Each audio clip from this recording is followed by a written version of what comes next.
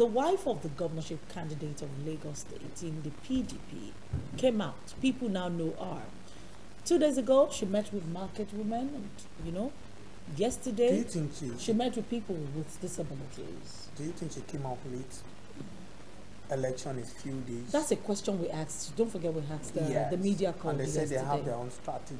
And, And- and he said-. Okay, they are playing, playing their joker. That's that, according to according to are one playing of the their, they are playing their joker. like uh, What did he say yesterday? It's not me that said it. It's their own strategy. So this is the checkmate. the wife. So he said when when they feel there is necessity to the respond to to some out. of the you know allegations and all, they do.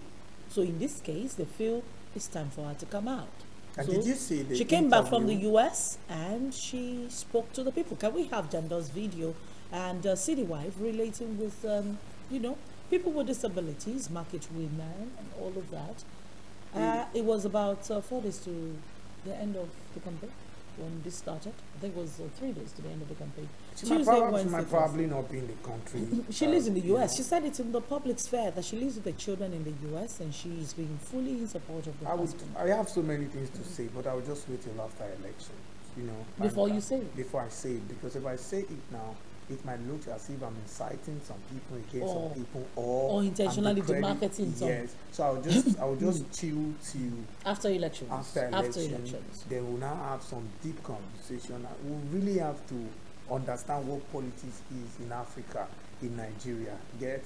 But I will just pause from there. You saw the interview between Daddy Freeze and Jandor. Yeah. And uh, the the saga that is between the Labour Party candidate and the PDP And the candidate. PDP So candidate. the I P- saw that The as Labour well. Party candidate, I mean, You gubernatorial contested, candidate yes. in Lagos, has been in the PDP for about six years.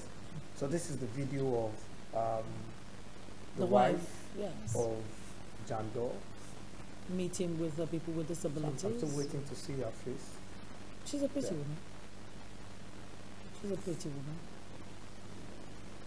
So since the since the um, media aid said they have they have their own strategies and how they work and how things run, how things play, it's fine. We'll just wait and say, okay, So this is her coming yes, in. yeah, that's the woman.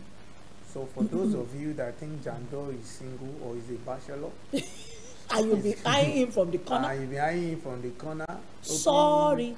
you want to disturb his administration. Hopefully, if he becomes the governor. Now, this is the wife, came from the United States. Like my colleague said. she said it herself. All right, uh, she said it herself. Let's quickly listen to her because um, we still have to go to the governor of Lagos State as well.